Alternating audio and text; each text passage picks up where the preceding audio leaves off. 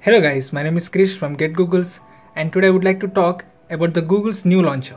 I don't know whether it is going to be launched officially but we have the APK file here.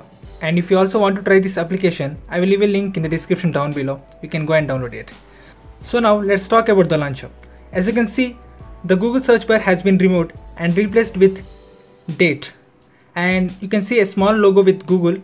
You can access by tapping on it for the Google search bar and down you can notice the folders has been changed and you can't access to Google now by swiping left to right. They have removed it. And coming to down you can see an arrow mark. By clicking on it you can access to your app drawer. You can also notice that they have removed the app drawer icon over here. So you can just tap on it or you can just drag it. Drag towards up. You can see the animations. Let me do it slowly so that you can see the animation the fade animation. Can you guys see it? So this is the app drawer.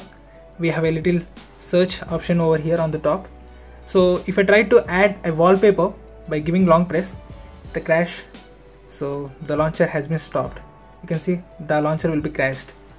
So let me open it again. So I tried adding the widgets. There is no problem with that I can add widgets to my home screen. I don't have any issues with that. And going to settings uh, we have app suggestions and show Google app and allow home allow home screen rotation. We have only three options for this launcher. So guys that's all for this video. Let me know your thoughts on this launcher by commenting down below. If you like this video please hit the thumbs up button or subscribe to our channel for more videos like this and yeah, thanks again for watching. I would like to see you guys in my next video. Stay awesome.